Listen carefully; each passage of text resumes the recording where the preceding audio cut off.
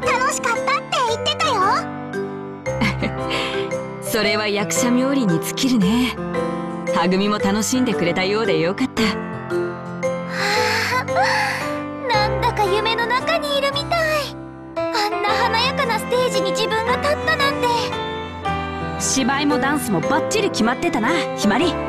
ああ練習の時以上の素晴らしい演技だったよ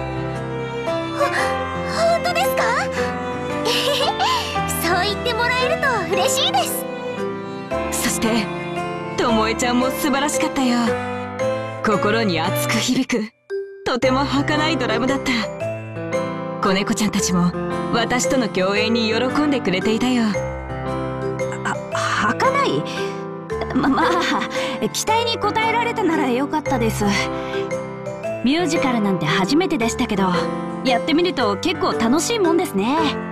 最初は先輩の手伝いって感じでやってましたけど中からいい舞台にしたいって気持ちになってましたし。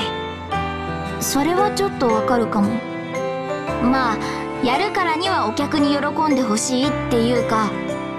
美咲君が舞台の魅力を分かってくれるなんて。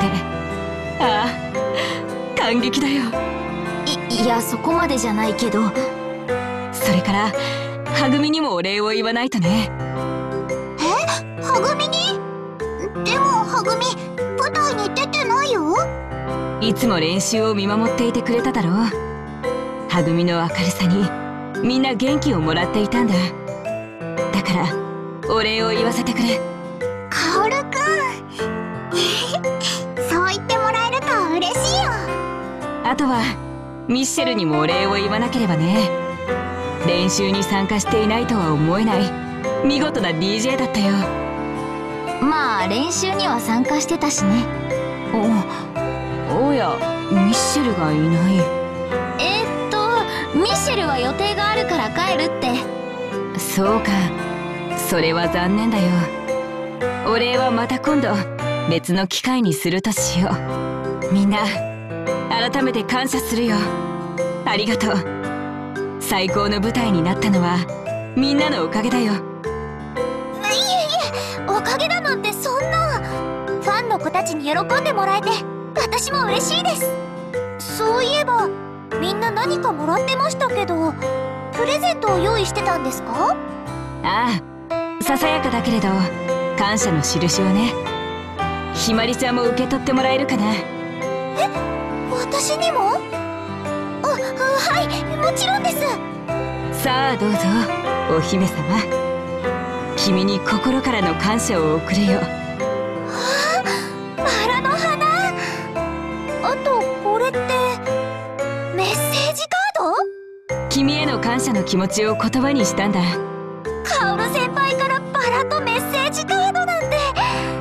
あありがとうございます。嬉しいです。喜んでもらえたなら何よりだよ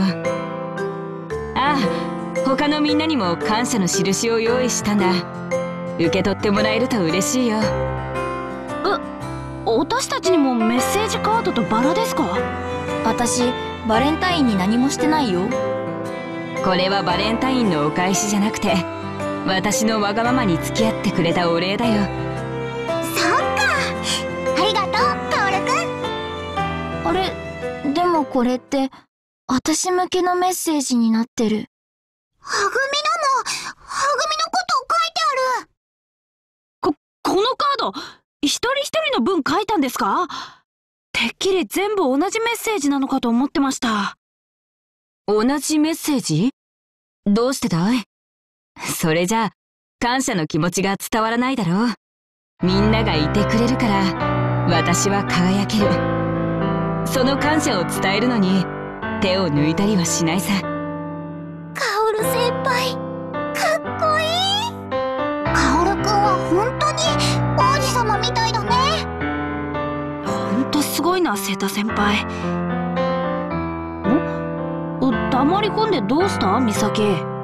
私ちょっとだけ分かった気がする。カオルさんが人気者の理由。ああ前にそんな話したよな。かっこいいから人気なのかと思ってたけどきっとそれだけじゃない気がするんだ。今回のミュージカルだってファンの子を喜ばせるために始めたことだしミュージカルの内容だってファンの子の希望をたくさん盛り込んであったよね。そういえばちゃんと誰の希望かも覚えてたっけ？あれだけたくさんファンがいるのにすごいよな。多分そういうところなんだよ。